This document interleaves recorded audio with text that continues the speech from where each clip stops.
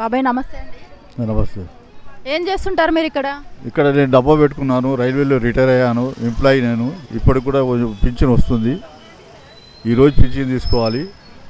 నేను ఇప్పుడు క్షమంగా ఉన్నాను. ఇక్కడ ఉన్న స్టాఫ్ అంతా చాలా మంచిగా ఉన్నారు. నాకు చాలా సహకరిస్తున్నారు రిటైర్ ఎంప్లాయీ. టీఆర్ఎస్ గవర్నమెంట్ ఎలా ఉంది బాబాయ్? బ్రహ్మాండం ఉంది. బాగుంది. పరిపాలన బాగుంది. కేసీఆర్ గారి పరిపాలన బాగుంది. నేను డైలీ పేపర్ అదే తీసుకుంటాను. ఇప్పుడుగా పేపర్ పుట్టిన కాడి నుంచి ఇప్పటిదాకా అదే పేపర్ తీసుకుంటాను చాలా మంచోడు. వారి పరిపాలన. చాలా విమర్శలు వస్తున్నాయి కదా. అందరూ ఒకరికొకరు పడదు. మనిషి అందరూ ఒకటే ఉంటారు. ఆ తల్లి కడుపులో పుట్టిన పది మంది పది రకాలు ఉంటారు. ఒక తండ్రికి పుట్టిన వాళ్ళు వాళ్ళు ఒక్కడే తండ్రి మాట వినరు కదా. వాళ్ళకి ఇష్టం వచ్చిన మాట మాట్లాడుతూ ఉంటారు. ప్రజలు మాత్రం చాలా మంచి వాళ్ళు ఉన్నారు. వాళ్ళ పరిపాలన బాగుంది. ఇప్పుడు నెక్స్ట్ ఎలక్షన్స్లో ఏ పార్టీ వస్తుంది అనుకుంటున్నారు? వీళ్ళే వస్తారు. ఓకే టీఆర్ఎస్ వస్తుంది. నమ్మకం. పక్క నమ్మకం చాలా మంది మాకు డబుల్ బెడ్రూమ్ ఇల్లు రాలేదు పింఛన్ రాని వాళ్ళు కూడా ఉన్నారు. ఉన్న ఉన్నవాళ్ళు పెళ్ళానికి వస్తే మొగనికి వస్తే మన వాళ్ళకి వస్తే కోడళ్ళకు అందరికి వస్తుందా? ఇంటికి ఒక ప- యజమానికి వస్తుంది. ఆ యజమాని అందరికి కాపాడుకోవాలి. అందరు నలుగురు కొడుకు నలుగురికి వస్తే రాదు కదా. ఆయన తప్పేం లేదు ఆయనది. కరెక్ట్ ఇస్తుంది. నాకు రాలేదు ఇంతవరకు దాకా మా మా భార్య రైల్వే ఎంప్లాయ్ భార్య కాబట్టి పింఛన్ వస్తుంది కాబట్టి వాళ్ళు చెప్తే కట్ కట్ చేశారు. నాకు రాలేదు. ఇప్పుడు ఇది పద్దెనిమిది సంవత్సరాలు అయింది రిటైర్ అయిన తర్వాత. నేను సెవెంటీ సెవెన్ ఇయర్స్ ఉన్నది నాకు. నేను ఒక మంచి ఆఫీసర్ కన్నా దిగాను. నాకు ఇరవై ఇరవై రెండు వేలు వస్తుంది పింఛన్ అంతా పాలన బాగున్నది. ఇప్పుడు టీఆర్ఎస్ని బీఆర్ఎస్ చేసి కేంద్రంలోకి పోయిండు కదా కేంద్రంలో కూడా నేను గెలుస్తా అంటుండు కదా. గెలవచ్చు సత్తా ఉంది ఆయనకు. కొడుకు తండ్రి కొడుకులు కలిసి బాగా బాగా పనిచేస్తున్నారు. ప్రజల కోసం చాలా సేవ చేస్తున్నారు ఇక మీ లోపల పనులు మాకేం తెలుస్తుంది? మాకైతే మంచిగా అనిపిస్తుంది. వాళ్ళ మీద ఆరోపణలు వస్తున్నాయి కదా వాళ్ళ కూతురు పైన ఆరోపణలు రావా? నాకు నాకు పట్టు రాదు నాకు ఇష్టం లేదు నేను ఆరోపణ చేస్తా. అట్లనే ఒకరికొరికి సత్తా లేదు వాళ్ళ దగ్గర చదువు లేదు వాళ్ళ దగ్గర పట్టుదల లేదు మాట్లాడే విధానం తెలియదు ఒట్టి రౌడీగిరి చేస్తూ వస్తుందా? వీళ్ళు చేసే పరిపాలన ఎవరు చేయలేరు. ఎవరు చేయలేరు. ఆయన తప్పించి రాజకీయం విడిచిపెడితే మనకు మళ్ళీ సత్ చాలా చాలా కష్టాలు. ఈ రోడ్డు చూడండి ఎంత ఎట్లా ఉన్నాయి.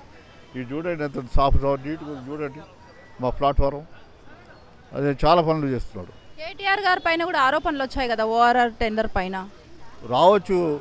చదువుకున్న వాడి వ్యక్తి కదా ఒకరికొకరు పడకపోవచ్చు. కానీ ఆ కేటీఆర్ చాలా మంచివాడు. ఉత్తముడు మంచోడు. ధైర్య సాహసం ఉంది. చదువు ఉంది విద్య ఉంది మాట్లాడే విధానం ఉంది. ఆయనకు ఎవరు చెప్పినా కూడా తప్పే. ఎవరు చెప్పలేరు. చాలా మంచివాడు. దొరల పాలన అంటున్నారు కదా కేసీఆర్ గారి పాలన దొరల పాలన అంటున్నారు. దళితుడికి ఏం చేయలేదు అని అంటున్నారు కదా. చేయవచ్చు ఎగరిస్తున్న వాళ్ళకు ఏదైనా ఉంటుంది కదా వాళ్ళకు కూడా కావాలని అనుకుంటారు. కానీ ఎట్లా వస్తుంది? వాళ్ళ సత్తా లేదు రాదు. ఏదైనా పట్టుదల ఉండాలి. పండితనం చేయాలి ప్రజలకు చాలా సహకరించాలి. మంచోళ్ళు చేయించి వాళ్ళకు కూలీ నాలి చేయకుండా ఏదో సదుపాయాలు చేయాలి. ఆయన చూడు కూర్చున్న కాడ ఎన్ని పనులు చేస్తున్నారు. ఎన్ని రాత్రి పగలు చేస్తున్నారు తల్లి కొడుకులు కలిసి. చాలా మంచి పరిపాలన గొప్ప పరిపాలన. ఇది తప్ప ఇక చేయలేరు. సర్వనాశమే దేశం ఆయన పోతే. ఏం కాదు రోడ్డు చూడ ఎంత క్లీన్ ఉంది. దేశం సర్వనాశనం అంటున్నారు కదా ఇప్పుడు కా ఇది టీఆర్ఎస్ వచ్చే తొమ్మిదిన్నర ఏళ్ళు ఇంతకుముందు కాంగ్రెస్ ఉంది కదా బాబాయ్ మరి. కాంగ్రెస్ ఏం పట్టించుకోలే. చేసే కూడా చేశారేమో కానీ ఇంత నీట్గా చేయలే. వాళ్ళు కూడా కష్టపడ్డారు. కాకపోతే ఈయన చేసినట్టుగా ఎవరు చేయరు. చేయలేదు కూడా. టీఆర్ఎస్ ఇచ్చింది తెలంగాణ ఇచ్చింది కాంగ్రెస్ సోనియమ్మ కదా. సోనియా మద్దత సోనియా గాంధీ గారే కదా టీఆర్ఎస్ ఇచ్చింది. ఎంతో మంది ఆత్మాహుతి చేసుకుంటున్నారు అని చెప్పేసి బలిదానాలు అవుతున్నాయని సోనియా గాంధీ ఇచ్చారు. మరి ఇప్పుడు సోనియా గాంధీనే పైకి రానివ్వట్లే కదా కేసీఆర్ గారు మరి.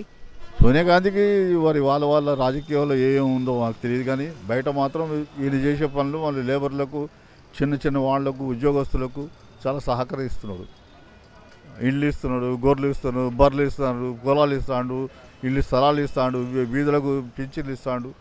ఎవరు అడిగితే వాళ్ళకి ఇస్తున్నాడు ఎవరు ఇవ్వలే ఎంతవరకు దాకా పింఛన్లు. నా ఆయాంలో అయితే. నైన్టీన్ ఫార్టీ సిక్స్ నాది డేట్ ఆఫ్ బర్త్. ఇప్పటిదాకా నేను చూడలే. అయితే ఇప్పుడు ఏమంటున్నారు సామాన్య జనం? మమ్మల్ని ఇవన్నీ ఇచ్చి మమ్మల్ని సోమరిపోతులను చేస్తున్నారు అని అంటున్నారు. సోమరిపోతులు అయితే పని చేసుకోవాలి బ్రతకాలి. నువ్వు ఇల్లే లేదు సోమరిపోతులు ఎట్లా? ఇల్లు వాకిలు అన్నీ ఉంచుతున్నాడు.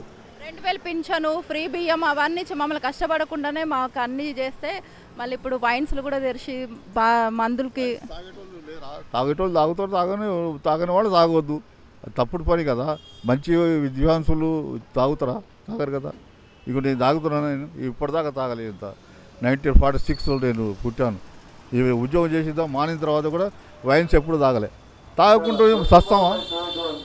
ఉన్నోళ్ళు అట్లా తాగుతారు. పిచ్చి పిచ్చి లెక్కలు చేసి రాజకీయంలో బదలాపు చేయాలని ఉంటుంది దేశాలు నాకైతే చాలా మంచిగా ఉంది ఇతరులకు మనం చెప్పలేము